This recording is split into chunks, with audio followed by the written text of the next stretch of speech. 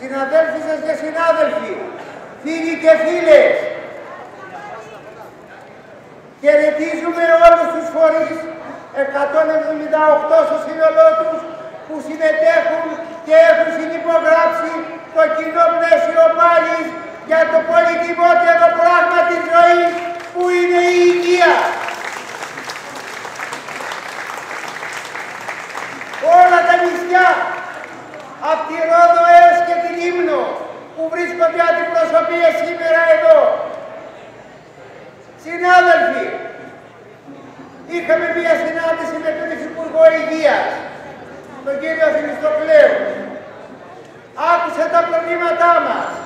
Του θέσαμε τα ζητήματα με αριθμούς, συγκεκριμένα με τις ελλείψεις που υπάρχουν.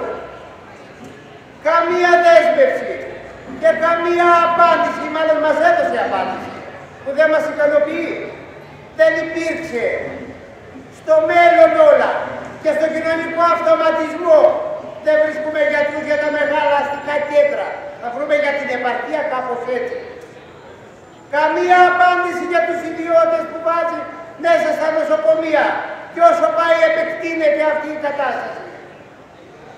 Η απάντησή του όταν είπαμε ότι θέλουμε σύγχρονα ιατροτεχνολογικό εξοπλισμό, αξονικούς και μαγνητικούς, μας είπε ότι η πολιτεία και το κράτος κανονίζει πού πρέπει να μπει αξονικός ή μαγνητικός τομογράφος. Ποιος κοστολογεί ρε συνάδελφοι, ποιος είναι αυτός που του δώσαμε το δικαίωμα και λευκή επιταγή να κοστολογούν τις ζωές μας, αν συμφέρει ή αν δεν συμφέρει. Έδωσε κανείς από εμάς εδώ λευκή επιταγή σε καμιά κυβέρνηση και σε κανένα υπουργείο; Σε όποιο νησί και να είναι και τρεις άνθρωποι να είναι πάνω οφείλουν το 21ο αιώνα το 2023 να υπάρχουν μηχανήματα να μπορεί ο άλλος να εξεταστεί, να γιατρευτεί και να νοσηλευτεί και να μην πεθαίνει αβοήθητο. Αυτό είναι το κράτος του. Αυτό μας είπε. Μας είπε για το πόσο προσωπικό προσλήφθηκε τα τελευταία χρόνια, λόγω λέει και της πανδημίας. Και μας είπε νούμερα. Δεν μας απάντησαν στο πόσοι αποχώρησαν, το πόσοι συνταξιοδοτήθηκαν. Φίλοι και φίλες, συνάδελφοι και συναδέλφισες, εάν δεν τα πάρουμε πάνω μας, εάν δεν πάρουμε την υπόθεση στα χέρια μας, όλοι μαζί, είτε από τα νησιά, είτε από την πρωτεύουσα, είτε από οπουδήποτε άλλο, δεν μας υπολογίζουν. Δεν υπολογίζουν τις ζωές μας. Εμείς πρέπει να τις πάρουμε στα χέρια μας. Πρέπει να συνεχίσουμε την πάλη μας και τον αγώνα μας για ένα αποκλειστικά δημόσιο και δωρεάν σύστημα υγείας. Να βγουν έξω οι ιδιώτες από τα νοσοκομεία. Ζητάμε γιατριά και μας στέλνουν στο θάνατο και μας είπε να μην το συζητάμε αυτό και να μην λέμε ότι κινδυνεύουν ανθρώπινες ζωές. Έτσι μας είπε. Είναι γιατρός ο κύριος πλέον. Υπηρετεί το δημόσιο σύστημα υγείας. Αλλά, υπηρέτησε μάλλον, αλλά είναι πολιτικός και χαράζει μια συγκεκριμένη πολιτική των ιδιωτικοποιήσεων και της καταδίκης μας. Το επόμενο διάστημα θα ξαναβρεθούμε πάλι στους δρόμους. Όλοι μαζί. Το ζήτημα της υγείας δεν είναι ζήτημα μόνο των οικονομικών. Αφορά όλο το λαό. Όπως σήμερα εδώ πέρα είναι όλοι οι κλάδοι. Συστράτευση λοιπόν μαζί με τους μαχόμενους οικονομικούς. Και το λέω αυτό γιατί δεν είμαστε όλοι οι ίδιοι. Μαζί με τους μαχόμενους οικονομικούς στους δρόμους για ένα αποκλειστικά δημόσιο και δωρεάν σύστημα υγείας. Καλή δύναμη, καλή συνέχεια. Γεια σας. Καλούμε λοιπόν όλους αυτούς τους φορείς των νησιών μας και ακόμα περισσότερους να πάμε σε νέες δυναμικές κινητοποιήσεις στις 29 Νοέμβρη.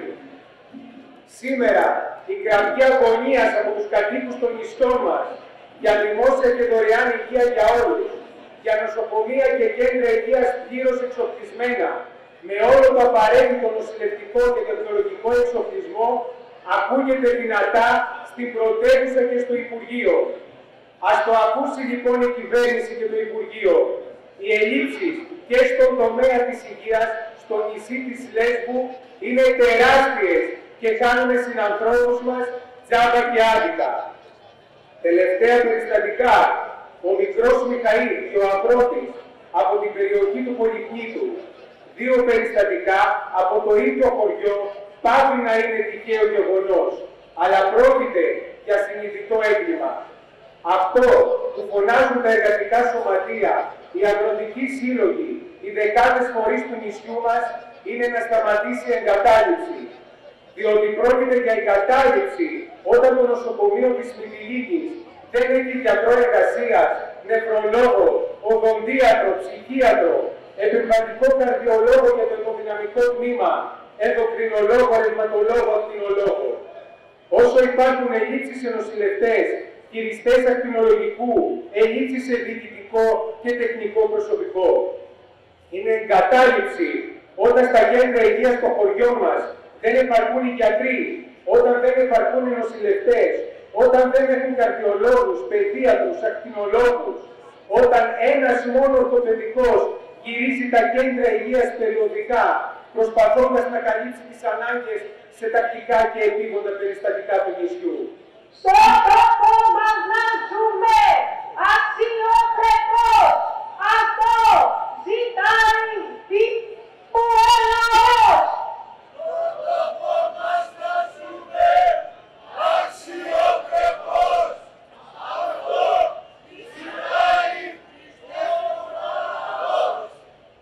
Είναι έγκλημα όταν υπάρχει ένας και μοναδικός συνταξιούχος γυναικολόγος για να καλύπτει τις ανάγκες στο κέντρο υγείας. Έχουμε όμως και μια παγκόσμια πρωτοτυπία στο νησί μας για τις μονάδες της πρωτοβάθμιας φροντίδας υγείας. Το κέντρο υγείας Μητυλίνης λειτουργεί με μόνο έναν γιατρό πρωτοβάθμιας φροντίδας υγείας και οι υπόλοιποι είναι αποσπασμένοι από τα άλλα κέντρα υγείας με αποτέλεσμα να μένουν αυτά χωρίς γιατρό. Αυτά είναι μερικά από τα τεράστια προβλήματα που υπάρχουν στον τόπο μας.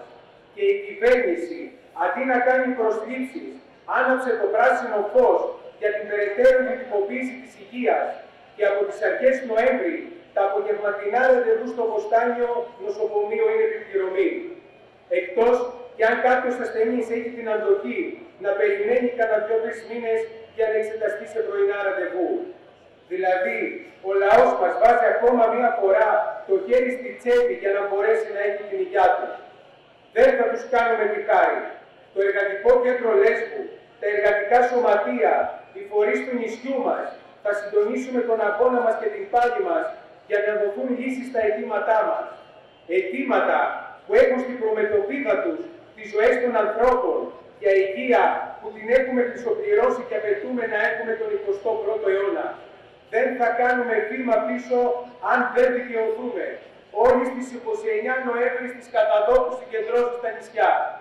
Χαιρετίζουμε την αγωνιστική κινητοποίηση, πανεγιακή κινητοποίηση για την υγεία. Αρνούμαστε να συμβιβαστούμε με το θάνατο των νησιών μας. Δίνουμε προτερό παρόν και τώρα και αύριο. Είμαστε εδώ για να αποδείξουμε για άλλη μια φορά ότι δεν συμβιβαζόμαστε με τα λιγότερα. Διεκδικούμε τα πάντα. Η υγεία είναι αγαθό. Θα το διαφυλάξουμε με την ίδια μας τη ζωή. Θα μας βρίσκουν πάντα μπροστά τους. Δεν συμβιβαζόμαστε με τις λογικές της κυβέρνησης του κόστους ωφέλους, όπου κόστος βάζει τις ζωές μας, όπου βλέπουμε συνανθρώπους μας να πεθαίνουν πάνω σε καρότσια, όπου νέα μικρά παιδιά να πεθαίνουν πριν προλάβουν να δουν τον ήλιο της πατρίδας μας. Θα μας βρίσκουν πάντα μπροστά τους. Δίνουμε την υπόσχεσή μας. Παλεύουμε για δημόσιο σύστημα δωρεάν υγείας, παιδείας, για τη ζωή μας την ίδια. Δεν συμβιβαζόμαστε, παλεύουμε, αγωνιζόμαστε, νικάμε. Ο Σύλλογος Ηλιακτήρα κάνει το αυτονόητο. Αντιπροσωπεύοντας τα άτομα με αναπηρία και χρόνια πάσχοντες, είναι παρόν στις διεκδικήσεις στα θέματα της υγείας. η ανάπηροι στην Ικαρία και στους φόνους για όλες τις κυβερνήσεις που πέρασαν και για τη σημερινή είναι ξεχασμένοι και στο περιθώριο. Γιατί είναι κόστος χωρίς όφελος. Κόστος οι καρκινοπαθείς να κάνουν τις θεραπείες τους στο νοσοκομείο. Κόστος του ΚΕΠΑ να υπάρχει εδώ στην Ικαρία.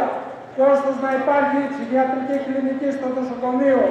Αλλά τι να λέμε, εδώ δεν υπάρχει χειρούργος και αναισθησιολόγος, δεν υπάρχουν γιατροί να καλύψουν εφημερίες στο νοσοκομείο και κέντρο υγείας Εθήλου. Ένας γιατρός στο πολυδύναμο ιατρείο Ραχών, χωρίς γιατρούς στα αγροτικά ιατρία Μαγκανίδικα Κινάγρη. Ένας τετραπληγικός, ένας κατάγητος θα πρέπει να διανύσει μία και δύο ώρες απόσταση για να πάει στο νοσοκομείο στην καλύτερη περίπτωση. Απαιτούμε και θέλουμε να ζήσουμε σαν άνθρωποι του 21ου αιώνα με πλήρη επαντρωμένες δομές υγείας, δημόσιες και δωρεάν για όλους. Θα είμαστε παρόν στην Αθήνα, στο Υπουργείο εδώ. Καλούμε όλους, όλους και όλοι μαζί, όπως λένε στην Ικαριά.